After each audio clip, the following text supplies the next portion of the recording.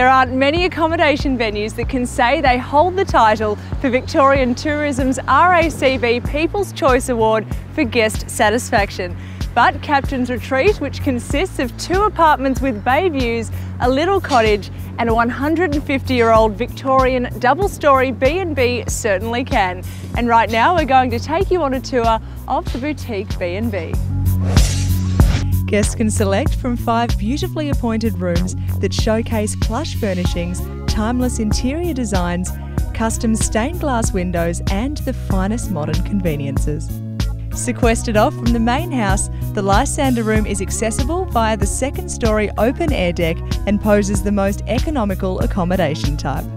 The Corsair Spa room can be found downstairs and provides an intimate ensuite bathroom where a spa bath and candlelit fireplace await. The Enterprise Suite has its own private hallway and comfortable queen size bed with a rustic bedhead. The Britannica Spa Room features the largest spa bath on the premises, making it a popular choice for couples indulging in a romantic escape. The most spectacular accommodation option on offer comprises the entire front upper level of the house and is fittingly titled the Captain's Spa Suite. This place wouldn't be a B&B without breakfast, and mornings here at Captain's Retreat are moments to be savoured. Enjoy a fully cooked hot brekkie courtesy of your host and homeowner Melissa Meek Jacobs and her able assistant Trish Hart.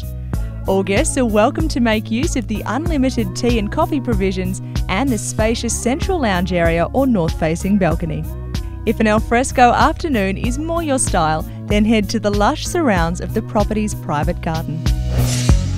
With all of this and so much more, it's not hard to see why this place has been such a pleasure to come home to over the last 150 years. So for boutique accommodation with a difference, make sure you book a stay here at Captain's Retreat Boutique B&B amidst the bayside splendour of wonderful Williamstown.